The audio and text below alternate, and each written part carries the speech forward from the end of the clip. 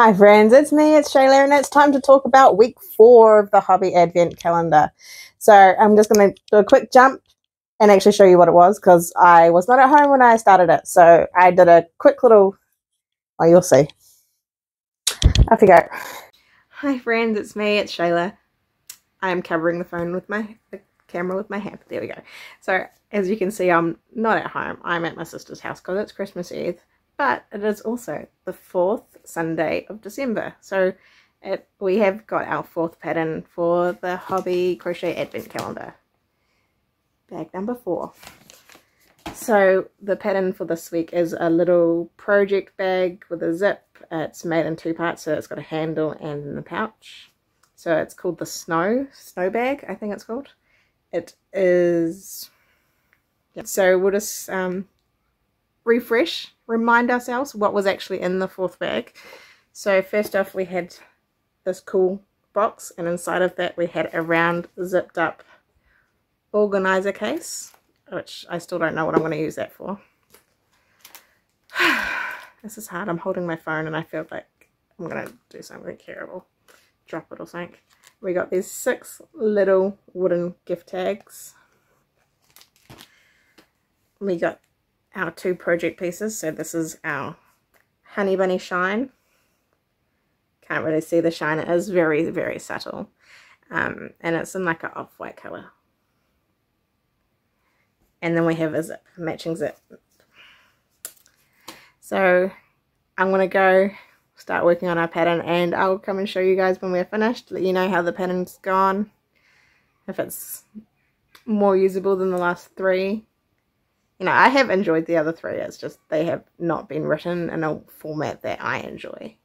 But, you know, we can always make our own assessments. You guys can always try them out and see how you guys feel because it's just my personal opinion. So, yeah, I'm going to go get busy with that and I'll catch you guys later. So that was what was in the week four bags.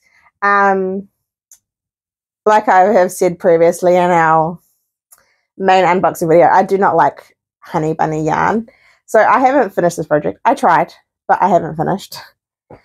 So here it is. I did actually do this on Christmas and then I just didn't work on it any further. And now it's several days after Christmas and I after the Advent day and I didn't release it. So I've just so we have closure on the series, I am going to finish this video. And I have a microphone, so hopefully that's working. If it's not, I apologize. It's the first time I've used it. So here is what I've done so far. This is actually mostly done. So the handle that you're supposed to make was supposed to be like a tube, a tube make in a spiral.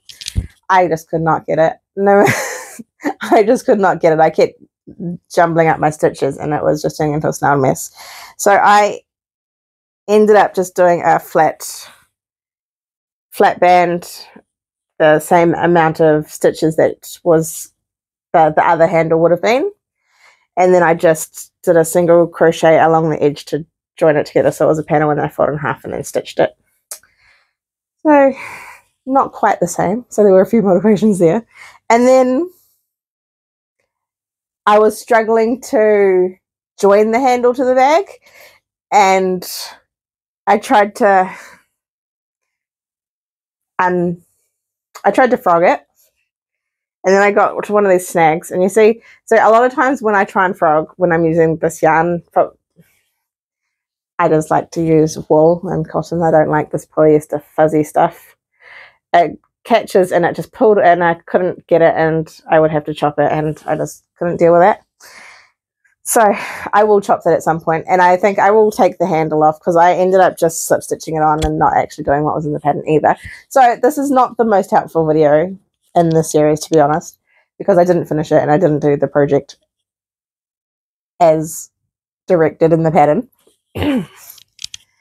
but I will chop it at some point. I will chop it just so I can get this last little bit and un unhook the handle that I tried to put on.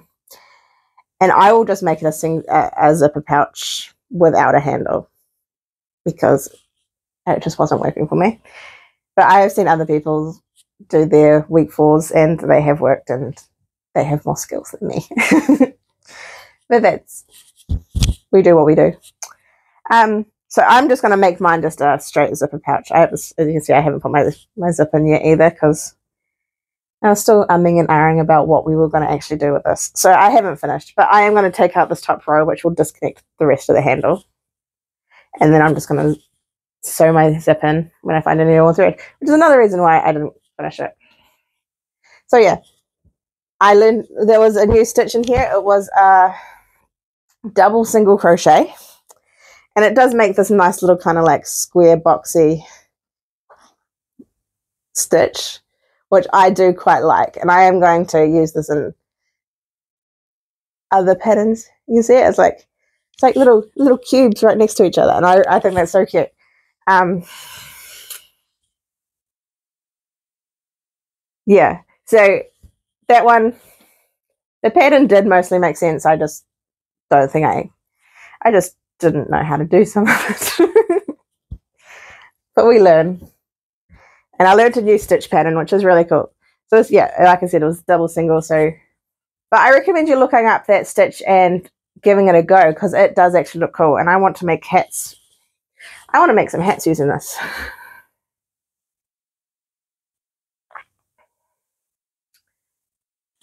So yeah, short video because I kind of messed everything up.